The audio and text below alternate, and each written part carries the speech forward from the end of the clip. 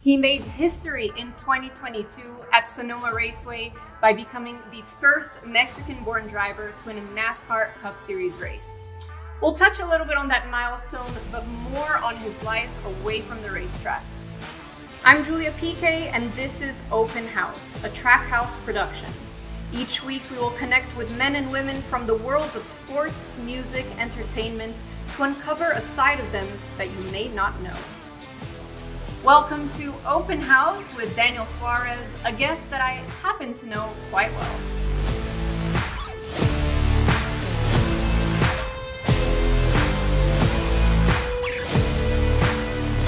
You have new toys. I'm ready. Okay. You have new toys.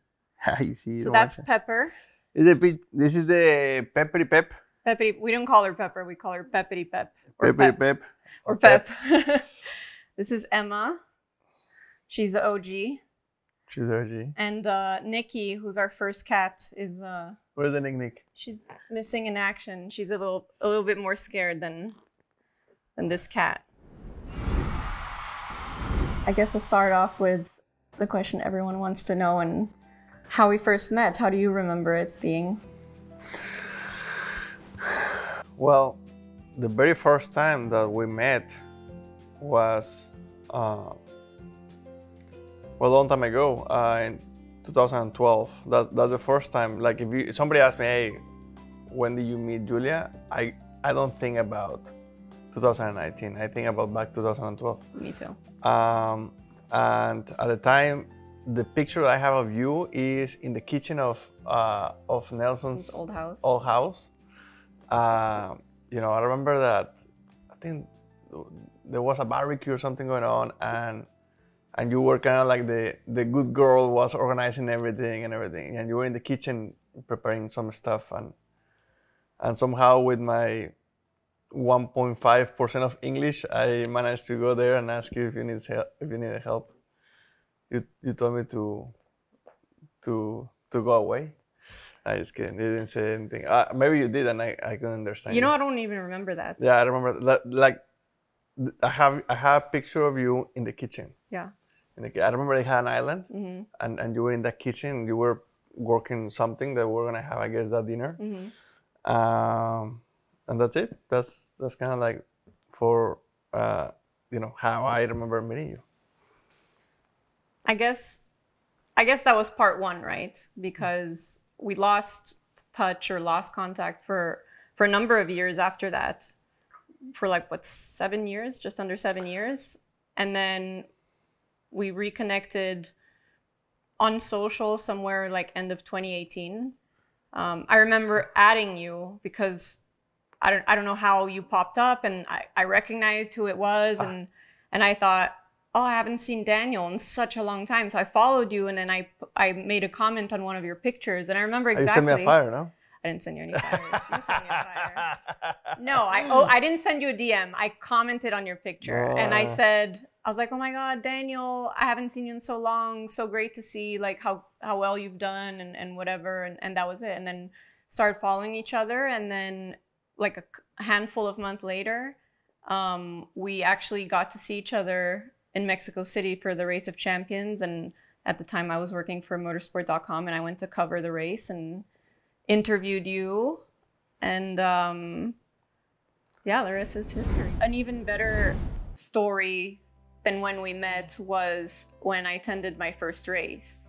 I, I remember landing in Phoenix, and I think it was a Friday because it was qualifying day for you. And I remember landing in Phoenix, like literally when qualifying had just ended. So the first thing I did when I landed was I turned my phone on and I Googled like NASCAR qualifying results. And the first thing that popped up was a picture of you. And my first, you know, instinct was, oh my God, he, he must have gone the pole. And I start scrolling down, and the headlines were like, fight erupts on pit road between uh, the 41 and, and, and McDowell. And I was like, oh my God, this guy's a hothead. Do you? I mean, honestly, the, in that moment, the, were, were you worried? I like, oh my god, this damn Mexican I inspired people. say I was worried. Little bit of a fight is kind of normal. Like honestly, like I fought in go-karts, I fought in NASCAR Mexico, I fought in pretty much in every series I have been. Like I feel like it's it's, it's part of it. Like when you are competitive and you are fighting for something, and then you are working so hard, and other people is as well, and you have a dis- disagreement. Like, well, maybe I'm saying I fought, and maybe it's not the right word, but like had like arguments had and pushing heated each other and arguments. stuff. Yeah, yeah. But I mean, what happened in Phoenix that year was a little bit more than argument. I mean, Uh, you went over I the wall to go talk to him. Yeah, then but- you like put him down on the floor. Then you got pinned on the car. I mean, it was a little bit more than a heated argument. It was more like an argument. I wouldn't call it a fight though. Like in my mind, a fight is kind of like If that's not a fight, I don't know what a fight is. well, a fight in my mind, a fight is more than putting somebody in the ground because, I mean, if that was a fight, the fight lasted three seconds. doesn't matter. It was still a fight. Okay, I'm too good then. no, because for me, a fight is when when two people go at it for for a little bit. Babe, it's a fight. It was a friendly fight. It was a fight. It was a fr- it was a nice fight. And then the next day, he asked me to be his girlfriend in the parking lot of a Walmart. Ah yeah. and I, was like, well, I bought better say yes, or he's gonna tackle me to the ground or something. a lot of people love racing. And racing is a very, very cool sport. To be in it, you have to make a lot of sacrifices.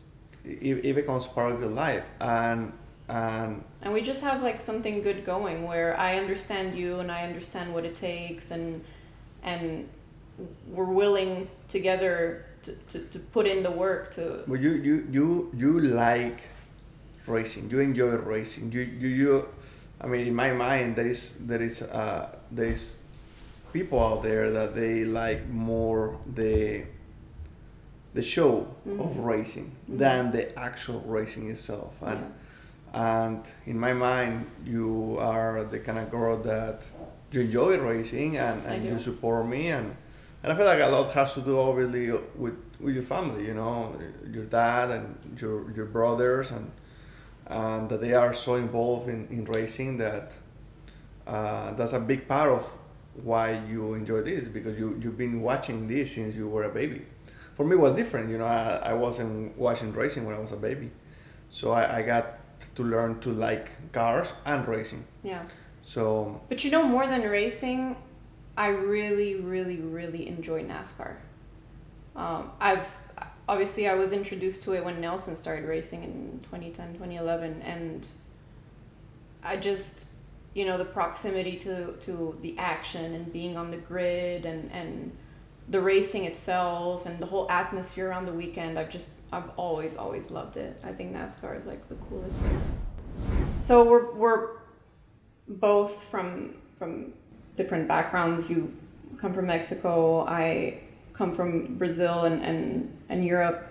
Um, was there a moment of culture shock when you moved to the U.S. Like things that you didn't expect, or just you know a moment where you're like, wow, this is like really different. first few months that I moved to to North Carolina, you know, to every you know, I was meeting a lot of people, but I couldn't speak English, right? So to I would say to most girls I was meeting, let's say that you were introducing me to uh, whoever, you know, I was I was uh, oh how are you doing? A ki- I'm sorry. And a kiss. You know, in Mexico and in Europe and in Brazil, it's, it's common, right? When you, when you are meeting someone, Yeah, yeah. yeah, So here it's not. yeah, So I remember that, I remember that girl were like, holy crap. yeah, yeah, yeah. And I didn't know, you know, for me it was normal. So it's just Yeah. one thing that for some reason it just stick in my mind.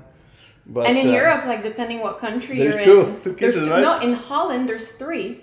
oh my You God. go one, two, three. Why so many? Why so many? I don't know that I can be touchy touchy in Holland. well, yeah. So for for a few months, you know, I was like, why they look at me where? Yeah. And then and then I found I said, hey man, Yeah. like that's not normal here. Uh, and then I, I knew that it was normal. So okay, in my mind, I'm gonna stop doing Yeah. it. And then I forgot. You know, I forget. I forgot Yeah. that, and and it was kind of like a process. How old were you when you moved to the US? Nineteen. 19 for me one of the shocks or culture shock was you know in the us you can't drink till you're 21 versus like in brazil or mexico When you're 18 12. eight, well no 18 you know going to a club or even having like a glass of wine or anything you know it's just like you either had to have a fake ID or you just couldn't or you just prayed that they wouldn't ask. So I thought that was that was kind of I don't know, it was just very foreign because that's not how it was back in my country. You know, we don't we don't have our, our families here. Mhm. Um, you don't have your parents. I don't have my parents. Your your folks are back in Mexico, and mine are in a whole different continent. You know, um, how do you how do you deal with that, and what are like some of the struggles that you face? Well, you know, it's been always. It hasn't been easy since the beginning. Um, you know, luckily, you know, my family they're very very tight. You know, I talk to my mom and my dad almost every day, and um, and I feel like that helps. The beginning was tough. The, fir- the first few years when I moved here, they were very very difficult, especially without knowing the language, without having money to really live good and stuff like that. Um, but every year it, it just gets better and better, and, and my family knows that I'm very happy.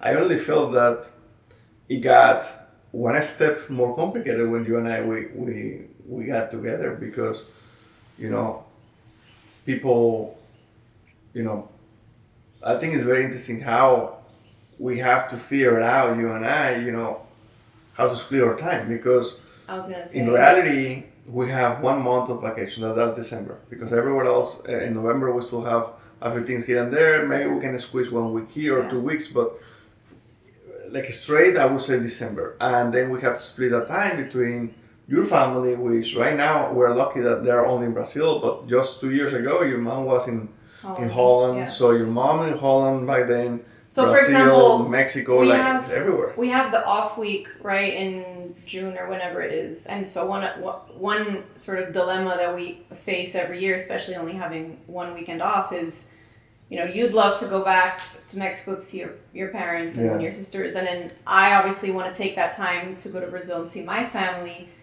and and then we have the same dilemma at the end of the year, and you know you'd love for me to come to Mexico and spend I time with you, and and I would love for you to come and spend time with my family, and so we have to like a- split our time and, yeah, I and mean, organize ourselves. it's always it's always a discussion. It's always a discussion because because uh, it's very difficult to do everything. yeah.